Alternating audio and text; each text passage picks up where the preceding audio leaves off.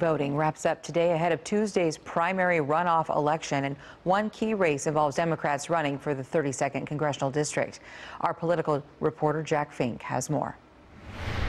Colin Allred and Lillian Salerno are pulling out all the stops to get their supporters to the polls.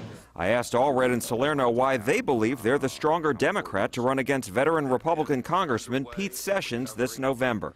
And that I have a story to tell about who we are here in this area. That I'm a local guy, I was born and raised here by a single mother, and that my story is a lot about who we are here because everything I've done was with the support of the people of this area. To beat him, you need somebody like me, somebody who's worked across the aisle, knows how to talk to Republicans and independents, and has a strong history of fighting for working people.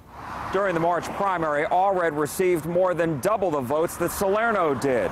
But runoffs are a totally different election with far fewer people going to vote. And neither campaign is taking it for granted. Allred says his top priorities include improving access to affordable health care and making sure the booming North Texas economy helps more residents.